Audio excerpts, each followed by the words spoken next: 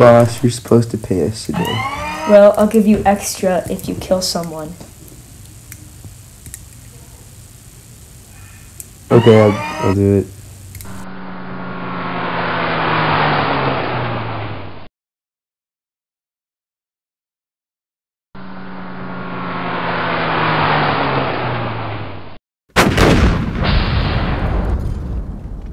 Oh, what was that for? Well, I'm here to destroy you. Boss, we heard the explosion. Do you want us to help you with anything? Yeah, kill him right behind you. Ah! Die! Huh, that was way too easy.